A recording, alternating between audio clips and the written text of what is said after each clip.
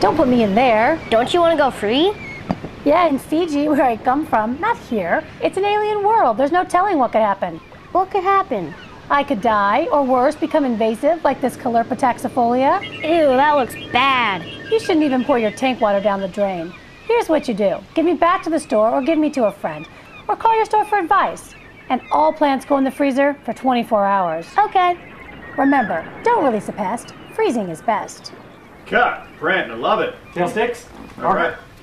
Nice job. All right, that's good. That's exactly what we're looking for. I just got to know something here. What are people thinking when they decide to get rid of an aquarium fish by dumping it into the ocean? Maybe they're trying. Maybe they're thinking that if they think they're doing a favor by letting them not have to go back to the pet store, maybe they think they don't have a friend to give it to. So, so what you're saying is that maybe people think that the environment in my little aquarium in your home is the same as the environment in the ocean and their local beach. Yeah. That's not how it works. The oceans are totally different.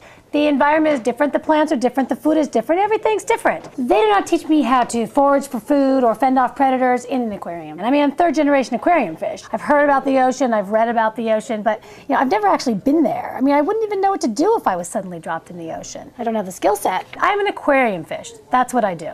I guess it'd be like setting your cat free in the woods. That's right. Would you set your cat free in the woods? What if I know I don't have any Caulerpa taxifolia, that I've checked it all out with my local pet shop? Is it okay if I dump it in the ocean then? You have to remember that we don't know what's going to become invasive. I mean, nobody knew that Caulerpa taxifolia was invasive until it suddenly was dumped in the ocean and took over miles and miles. So something else that you think is benign or okay might suddenly become invasive and take over another part of the ocean and become a whole new problem that we might be reporting about, you know, 10 years from now.